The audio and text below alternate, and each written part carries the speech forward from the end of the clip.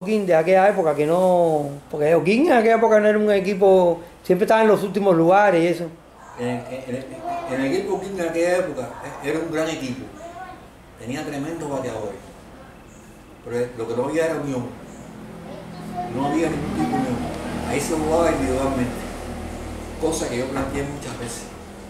Al llegar Héctor Hernández al equipo, lo que busca es eso. Héctor Hernández, él me, me, llevaba, él y Besada, me llevaban por un cuartico y me decían, mira, tú jugaste con agricultura, tú jugaste con eh, industrial, tú jugaste con la banda selectiva, tú jugaste con la. No me hables de nadie ese equipo, háblame del equipo industrial. Entonces yo le explicaba a él la característica del equipo industrial.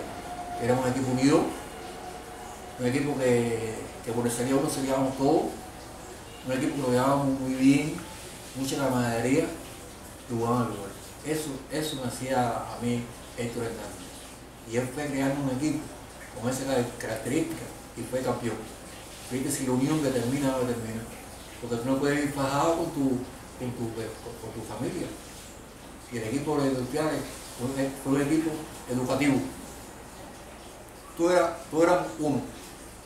Éramos uno. En aquellos tiempos que yo juego en el equipo de industriales, ahí habían, ahí habían gente que hacían cosas increíbles como Changa.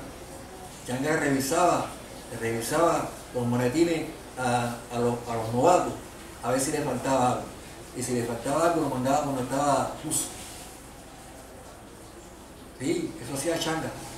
Eso hacía Florentino. Eso hacía Guafido Ruiz. Yo lo veía.